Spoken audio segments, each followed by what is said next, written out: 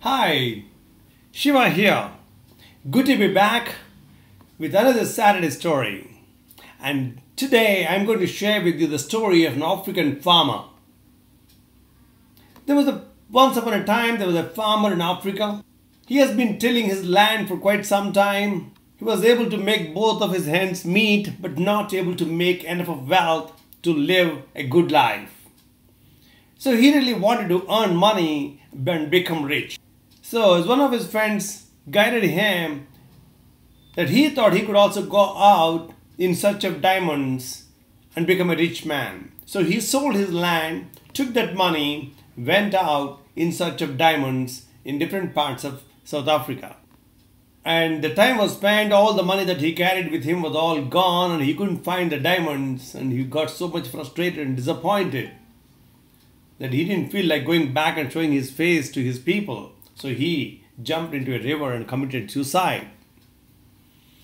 In the meantime, the farmer who bought the land from this farmer found an unusual rock in his uh, field, brought it home, and an expert of the stones looked at that and said, This is the biggest diamond you ever found.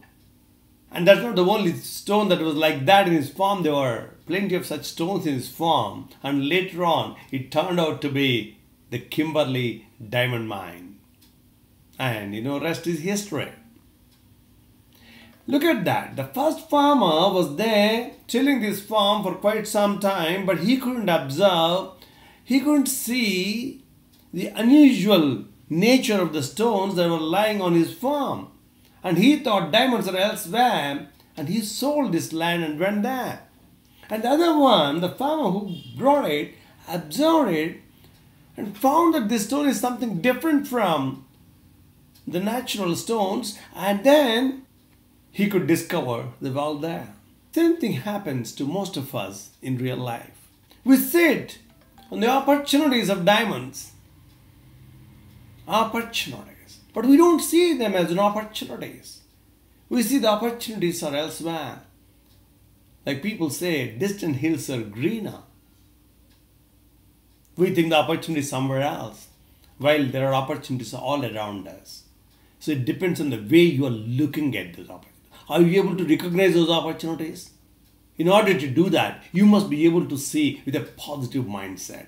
In order to see those diamonds and the opportunities all around you, first you must light the diamond that's there within you, and you are a diamond. When you see yourself as a diamond and light the diamond, you will be able to see the opportunities and how beautiful opportunities are there all around you.